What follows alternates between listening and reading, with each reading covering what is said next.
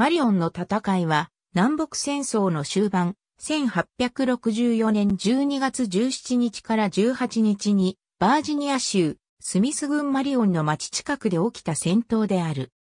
この戦いは北軍のジョージ・ストーンマン少将が率いたバージニア州南西部のソルトビルやマリオンの工業インフラを破壊することを目指した襲撃の一部だった。北軍の騎兵と不評の連隊、総勢で約4500名が12月17日にテネシー州を離れ、バージニア州南西部に入った。戦闘は2日間続き、南軍ジョン・ブレッキンリーチ少将の率いた総勢1200ないし1500名の不評と騎兵がマリオンの町とその周辺にあった防衛陣地を保持することに成功した。その第1日目、マリオン郊外の屋根付け橋近くで南軍の協調が取れた防衛により、北軍の攻撃が跳ね返された。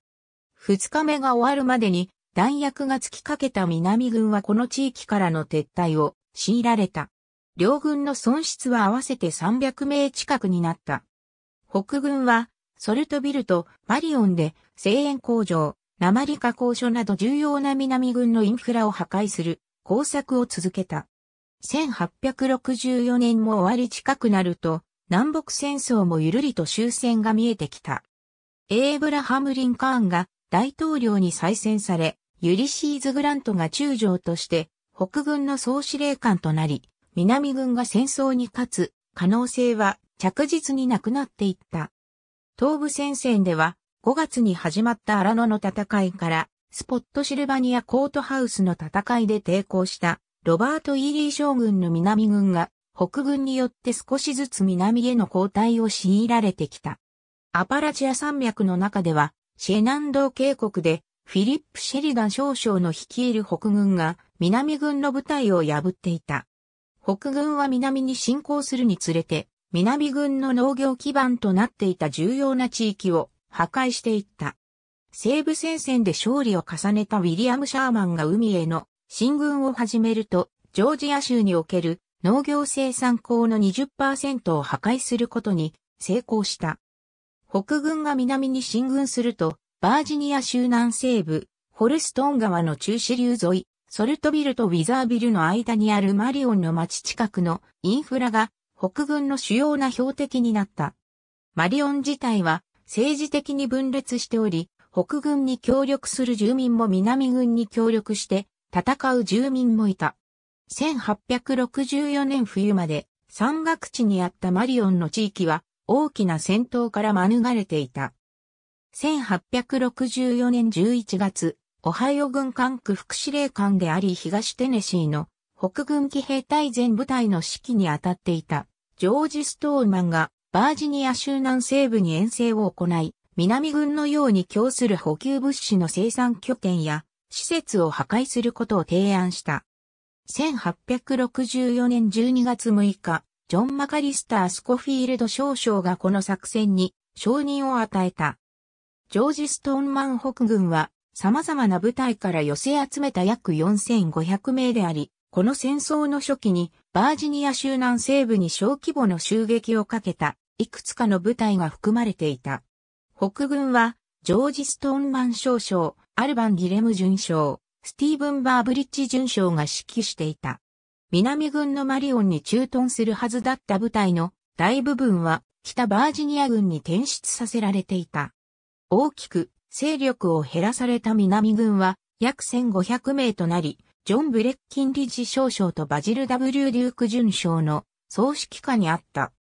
ストーンマンは、アルバン・ギレム准将とスティーブン・バーブリッジ准将の指揮下にあった部隊を使い、第5及び第6アメリカ合衆国有色人騎兵連隊も含まれていた。この両部隊は10月に起きた第一次ソルトビルの戦いで、製塩工場を破壊しようとした時にも参戦していた。ストーンマンはバーブリッジにその4200名の騎兵師団をカンバーランドギャップを抜け、テネシー州、ノックスビルのストーンマンとギレムのところまで率いて来るよう命じた。そこでは、ギレムが選別した1500名の兵士に再武装させていた。ストーンマンはその部下たちに遠征の目的を明かしていなかったが、12月10日にノックスビルを立ち、その3日後に目的を知らせた。12月12日、ストーンマン隊はテネシー州ロジャーズビルでバジルデューク准将の騎兵隊の側面を突き、交代させた。翌日にも同州キングスポートで南軍部隊を破り蹴散らすことができた。ギレム隊はそこでリチャード・シー・モーガン大佐を含む84名の南軍病を捕虜にし、その市長隊も捕獲した。ジョン・ブレッキンリッジ准将の時の肖像が12月14日、北軍連隊はバージニア州アビンドンの方向にバジルデューク准将の騎兵隊を押し返し始めた。翌日、ストーンマンとその騎兵隊はマリオンの西約13マイルのバージニア州グレードスプリングの宿営地に行った。12月16日、ストーンマンの騎兵隊がマリオンに侵攻し、その通り道にあるインフラと公共の建物を破壊した。南軍は、ジョン・ブレッキンリッジ少将の指揮下にあった。ブレッキンリッジは、第15代アメリカ合衆国大統領、ジェームズ・ブキャナンの時の副大統領であり、1860年、アメリカ合衆国大統領選挙では、大統領候補にもなり、リンカーンと競っていた。この時点では、南軍南西バージニア軍管区の指揮官だった。その指揮下には、約1000名の正規兵と予備隊として約500名の民兵があった。所属下にあった中隊の多くは、リッチモンド防衛の支援のために、北バージニア軍に派遣されていた。ブレッキンリッジの部隊は、ヘンリー・ギルトナー大佐の旅団で構成され、ケンタッキー第4騎兵隊と、同第10騎兵大隊、ケンタッキー第11騎馬ライフル隊、後のケンタッキー第13騎兵大隊、バージニア第64騎馬不評隊で編成されていた。またバジル・デューク準将の騎兵隊、ジョージ・コスビー準将の騎兵隊、ヴィンセント・ウィッチャー大佐のバージニア第34騎兵大隊も含まれていた。12月16日夜、ブレッキンリッジとその部隊は、ストーンマン隊の前進を止めるために、バージニア州、ソルトビルから出撃した。ブレッキンリッジは、正規兵を連れて行き、500名の民兵は、ロバート・プレストン大佐に任せて、声援工場を守らせることとした。ブレッキンリッジは、ウィッチャーと、そのバージニア第34騎兵大隊を、本隊の前衛に派遣し、北軍に嫌がらせを行うよう命じた。12月17日午前3時頃、ブレッキンリッジとその小さな中隊がウォーカーズ山を越え始めた。その行軍の数日前に4インチの雨が降っており、道路はぬかるみ、行軍を困難にしていた。午前4時頃、セブンマイルフォードに近い本堂に達しており、ブレッキンリッジはその先に進む前に、日中の間はそこで停止して待つことにした。12月27日正午頃、ブレッキンリッジ隊の兵士は馬に乗り、マリオンに向かって進んだ。ストーンマンは支配下にあったテネシー連隊のいくつかをウィザービルに派遣して価値があるように見えるものなら何でも破壊するように命じた。ストーンマンは別に騎兵ニコ連隊を派遣してウィザービルから約10マイルにある鉛の鉱山と精錬所を破壊することも命じた。ストーンマンとバーブリッジはマリオンへの侵攻を続け、そこでウィッチャー隊と遭遇した。ウィッチャーの部隊が停止して北軍騎兵隊に対し一斉射撃を行ったが、バーブリッジの前衛連隊が容易にウィッチャーの小さな連隊を押し返した。ウィッチャーがブレッキンリッジに状況を伝える伝令を送った。ブレッキンリッジ隊はマリオンで合流するために前進してきていた。ブレッキンリッジの前衛連隊はケンタッキー第10騎馬ライフル隊であり、ベンジャミン・コーディル大佐が指揮していた。コーディル隊は下馬して北軍騎兵隊に発砲し、小さな被害を与えた。ブレッキンリッジ隊の残りが戦場に到着し始めた時に、ストーンマンの部隊が川を見下ろす高台を確保した。ブレッキンリッジはそれらの丘がこの地域では最良の防衛拠点だと判断し、前衛連隊に丘の上で邪魔になる北軍を排除するよう命令した。ギルトナー旅団の残りもその攻撃に加わり、北軍部隊を改装させ、南軍がそこに代わって防衛陣地を敷いた。バーブリッジは高台の陣地が失われた時に事態に南軍に対する反撃を行うよう命じた。北軍の連隊が丘に向かって前進すると、南軍の不評と騎兵が大きな損失を与え、バーブリ自体の前進を遅らせた。